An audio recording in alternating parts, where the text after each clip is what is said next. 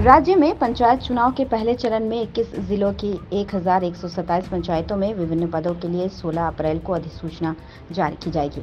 सोमवार को 18 अप्रैल से पहले चरण के लिए नामांकन शुरू हो जाएँगे।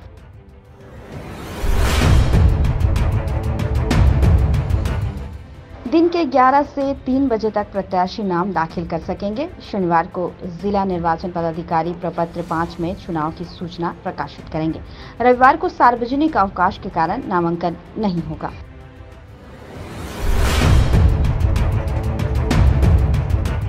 सोमवार से बहत्तर प्रखंडों में पहले चरण में सोलह पदों के लिए नाम दाखिल किया जा सकेगा। इनमें ग्राम पंचायत सदस्य के चौदह सौ नवासी मुखिया के ग्यारह पंचायत समिति सदस्य के 1405 व जिला परिषद सदस्य के 146 पद शामिल हैं। इसमें 7,472 पद अनुसूचित जाति और अनुसूचित जनजाति के लिए आरक्षित है। अनुसूचित जनजाति के लिए आरक्षित पदों में से ग्यारह सौ निन्यानवे पुरुषों और छह महिलाओं के लिए आरक्षित है। वहीं अनुसूचित जाति के लिए आरक्षित पदों में से तीन सौ बासठ पुरुषों और दो हज़ार पाँच सौ अड़तालीस महिला के लिए आरक्षित है। पहले चरण में कुल नौ आरक्षित पदों के लिए वोट डाले जाएँगे। इसमें ओबीसी के लिए पूर्व आरक्षित 2423 पद भी शामिल है। इस चरण में महिलाओं के लिए आरक्षित कुल सीट की संख्या 9504 है। अनारक्षित श्रेणी में महिलाओं के लिए आरक्षित की गई सीट भी शामिल है। नामांकन की अंतिम तिथि तेईस अप्रैल है। 25 व 26 अप्रैल को स्कूटनी होगा। नाम वापसी की अंतिम तारीख 27 व 28 अप्रैल है।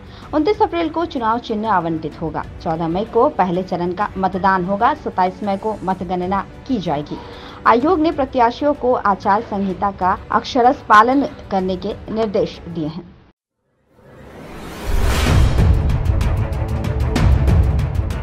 पंचायत समिति सदस्य एसडीओ कार्यालय में जिला परिषद प्रत्याशी मिश्रित भवन में पर्चा दाखिल करेंगे, जिसके लिए पुख्ता इंतज़ाम कर लिया गया है।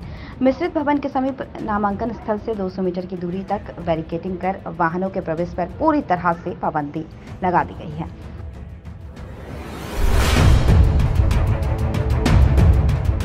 राज्य निर्वाचन आयुक्त डॉक्टर डी के तिवारी ने कहा कि राज्य में निष्पक्ष व पारदर्शी प्रक्रिया के तहत पंचायत चुनाव कराया जा रहा है। सुरक्षा व्यवस्था दुरुस्त रखने के लिए आयोग द्वारा आदेश निर्गत किया गया है।